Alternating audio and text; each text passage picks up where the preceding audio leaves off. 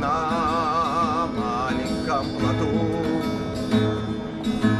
Сквозь бури, дождь и грезы,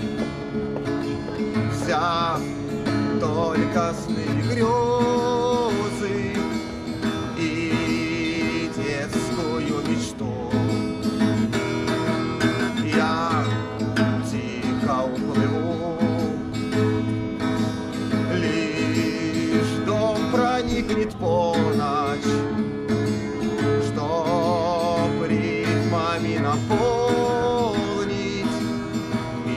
котором я живу.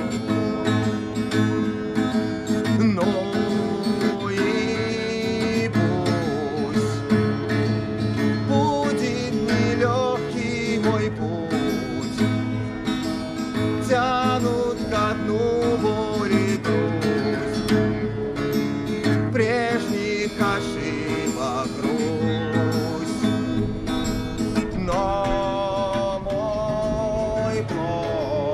Как гродненцы реагируют на твою игру?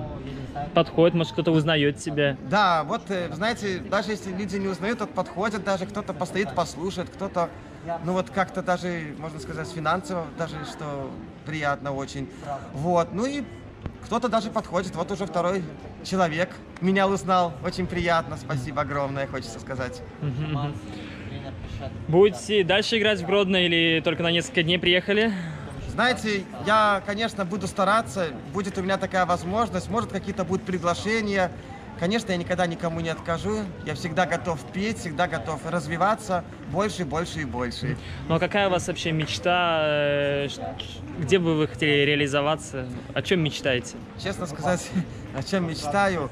Знаете, я, наверное, скажу так. Когда-то я все мечтал выступить на славянском базаре. Вы знаете, я думал, это неисполнимо. Но вот видите, одна мечта испол- исполнилась. Я все-таки выступил на славянском базаре. Ну и получил хороший результат. Ну а теперь мечта, какая у меня мечта? Мне хочется как-то дальше развиваться. Мне хочется где-то побывать, знаете, где-то вот найти знакомых каких-то вот даже в музыкальном плане. Ну вот такая мечта, потому что знаешь, что мне чего-то еще не хватает. Ну, Конечно, бы хотелось, чтобы кто-то, может, там заметил, может, какой-то получить совет. И вообще хочется куда-то дальше, дальше, не только вот в Гродно, где-то хочется даже, может, и по Беларуси, а там, может, и за пределами, кто его знает, Мгм. будем так говорить. А языки знаете иностранные какие-нибудь, не? Немножко, можно было бы лучше, ну, это не вопрос. Если бы коснулось, можно было бы и начать учить, это не вопрос. Ага. А сколько тебе, Владимир, лет уже? 32.